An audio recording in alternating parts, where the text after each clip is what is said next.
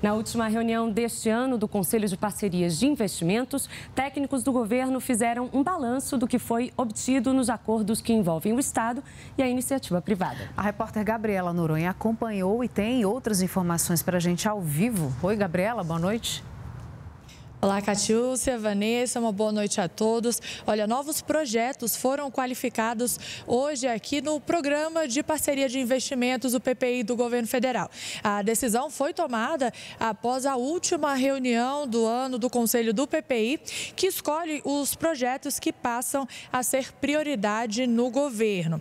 A reunião contou com a presença do presidente Jair Bolsonaro, de ministros e também de representantes do governo na área de infraestrutura de transporte, por exemplo, cinco novos projetos foram qualificados. Entre eles, o arrendamento do terminal de granéis líquidos no Porto de Santos. O governo também incluiu no PPI o leilão de, do 5G, que deve ser realizado em 2020. Foi aprovado ainda o procedimento simplificado para a privatização de empresas de pequeno e médio porte, que constará de projeto de lei que deve ser enviado à Câmara dos Deputados deputados. No Ministério da Economia foram aprovadas a desestatização do SERPRO e data prévia. Além disso, os projetos da pasta dão sequência às ações envolvendo estatais que já foram incluídas no PPI em reuniões anteriores. A secretária especial Marta Seiler fez um balanço das ações hoje aqui do Conselho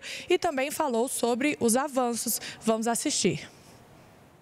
2019, 442 bilhões de reais de investimentos e 90,7 bilhões de reais de outorga em função dos 35 leilões que já aconteceram em 2019. Temos mais dois por vir, então temos expectativas aí de mais 4,5 bilhões com as linhas de transmissão, de investimento, mais na casa dos 6 bilhões da renovação da Malha Paulista. Então, a gente ainda fecha o ano, se tudo der certo, com mais 10 bilhões de investimentos previstos.